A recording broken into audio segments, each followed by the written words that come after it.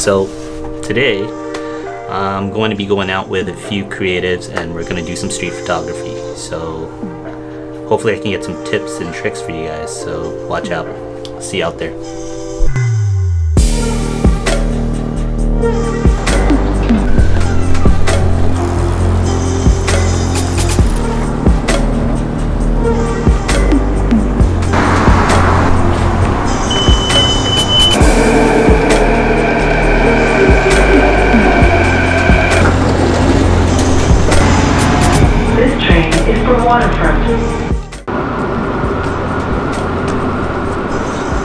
So I just arrived at Waterfront and I'm just waiting for the other guys to arrive. So I think I'll just get started. One of the first things I like to do when I arrive at a spot is just to observe my surroundings, uh, even before I even take any photos or video.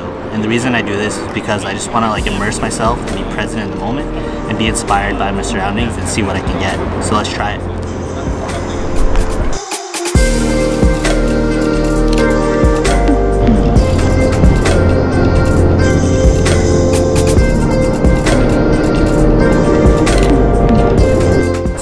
Am with the guys that I was saying I was gonna meet up with, and I'm gonna get you guys introduced yourselves, okay? All right.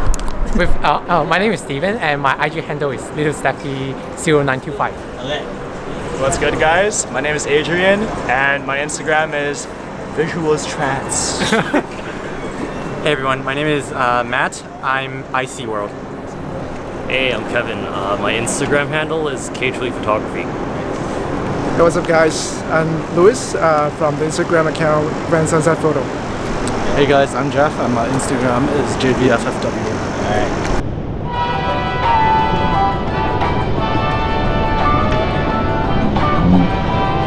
Yeah, what's your name? Oh, Lloyd. Lloyd Carig, Instagram. All right, cool. Alright.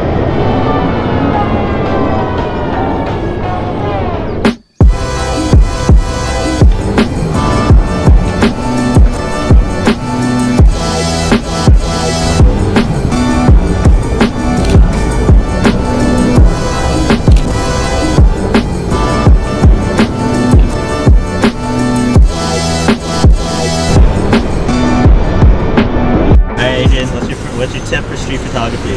I'd say uh, in your street shots, first of all, it's probably better if you go out in the rain. So don't do what I'm doing right now. It's terrible lighting, you know, super harsh and dry. But also in your shots, try and get like one focus subject. Like get some clear focus on subject, whether that's like framing, leading lines, something like that. That'll make your shot like just pop.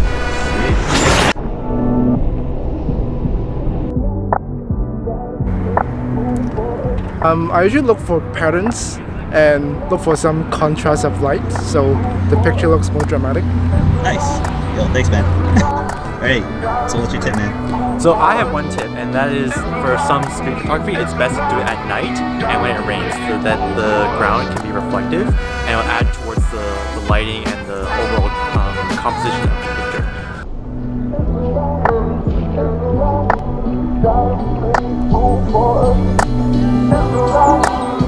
Okay, one of my tips for shooting sunset photos is like shoot it as f16 to get the sun stars.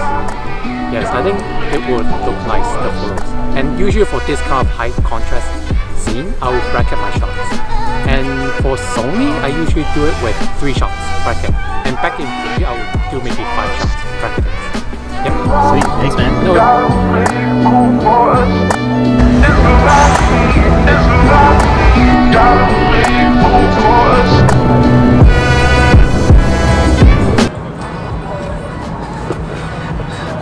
So it's getting quite dark now. I guess my final tip for today in regards to street photography is basically just find a bunch of creatives that are down to kind of go out with you and get some bangers, you know? Photography is definitely a collaborative thing, and I think collaborating with people is just always a good time, and you can bounce off ideas on with each other and inspire each other and create some some bangers. Anyways, yeah, it's getting dark and I do want to do a nighttime photography street video in the future, so watch out for that. Anyways, peace out.